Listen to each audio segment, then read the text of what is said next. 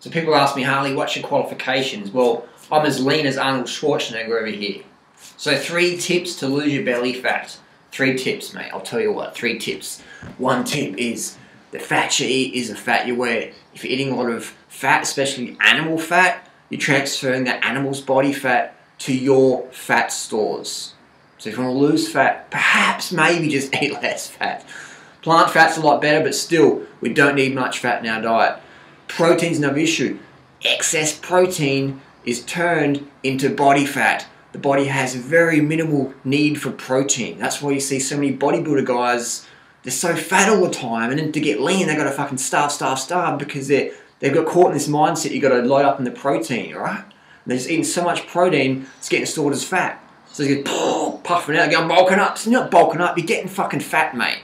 Cut the protein right down. Human mother's breast milk, 5% calories, coming from protein.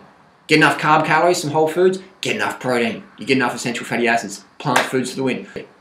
Eat more carbohydrates, man.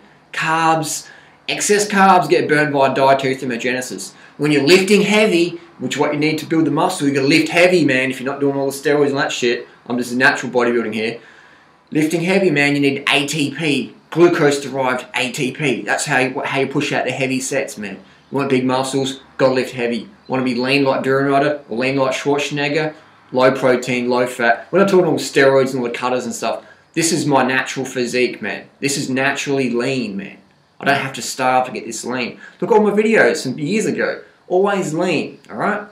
Regardless of my training, because I'm always eating clean, lean, low protein, low sodium.